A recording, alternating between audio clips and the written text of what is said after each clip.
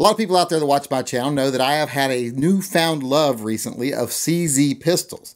So a lot of people have been asking me, what do I think of the new striker fired CZ, the P10 Compact? Well, to be honest with you, I think it's another striker fired pistol. They're putting a pistol out that, although it will get them a new portion of the market that they've never been in before, I don't really think it's going to be that special because there's lots of really good striker fired pistols already available. What CZ excelled at was making guns that were double action, single action, hammer fired polymer guns. That's kind of what made them uh, a little more unique and a little more special because there aren't as many of those guns on the market as they are just simple uh, striker fired guns. And you know, that got me thinking. One thing I don't talk a lot about on this channel is striker fired guns because they're not my favorite. I don't love polymer guns, period. I don't love striker fired guns. I prefer hammer fired guns. And people say, well, why? Well, because they're superior. So even when I do go with a polymer gun or a semi automatic gun, I usually go with a double action, single action hammer fired gun but I do appreciate a good striker fired gun. So today I thought I would make a list of what I think are the top five striker fired carry guns.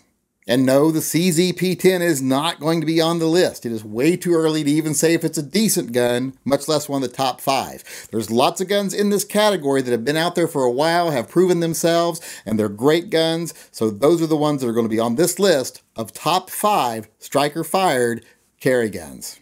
At number five is going to be the Smith & Wesson M&P. Now, I know a lot of people would put this gun a lot higher, but you know, I've really tried to like this gun and tried and tried and tried to like this gun, but it's just not my favorite. It's just not something I prefer. Now, that doesn't mean I can't recognize that it's still a great gun. And I know a lot of people out there carry it and they carry it because it is a great gun.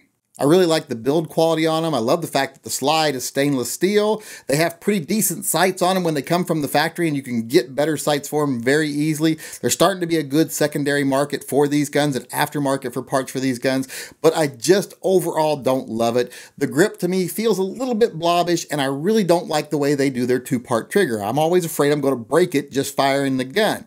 So I just don't love it, but I still do recognize that it is easily one of the top five striker fired carry guns on the market today, so I'm going to put it at number five. Now, number four for me is not going to surprise anyone. I've said before how much I like this gun. It is a Walther gun, and it is the Walther P99. Now, the Walther P99 is a double action, single action striker fired gun with a decocker, which is a little different than a lot of the striker fired guns. A lot of striker fired guns are double action only and do not have a decocker. This is different. I like the way this gun operates. It's a proven gun, it's a great gun, and I really love this gun. It's one of my favorite striker fired guns, period. But I know that double action, single action trigger isn't for everyone, so I'm going to put it at number four on my list of best striker fired carry guns. Now, my number three gun might really surprise a lot of people, and it is also a Walther, but it is the Walther PPQ. Now, I have gone on record before of saying that this is the best striker fired gun ever made, and I still stand by that. But the reason it isn't higher up on the list of carry guns is I worry about how light that trigger is. I almost think the trigger is a little bit too light for concealed carry. And it seems Walther might agree with me because when they market this gun, they do not emphasize concealed carry for this trigger. In fact, they have even said themselves that it might be a little light for concealed carry, that it is better as a light duty trigger. So they don't even call it a concealed carry trigger. But other than that, it is easily one of the best polymer striker fired guns ever made, and the lowest I could possibly put it on this list, despite that light trigger, is number three. Now, the number two gun on the list isn't going to surprise anybody. It is the Glock 19 or Glock 23, whichever one you choose. That size Glock, the compact Glock, is, in my opinion, the number two striker fired carry gun.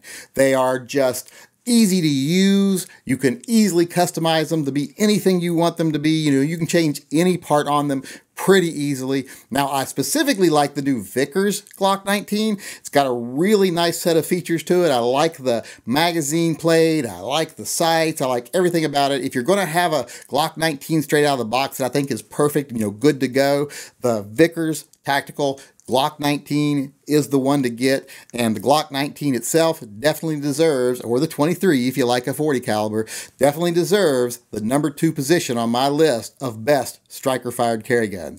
Now, the number one gun on my list is something I have come to the conclusion that I think it's the best after a long time of trying a lot of different striker fired guns. I've put a lot of effort in the last year into firing a lot of striker fired guns, trying a lot of striker fired guns, renting them, whatever. I wanted to get a lot of experience with them.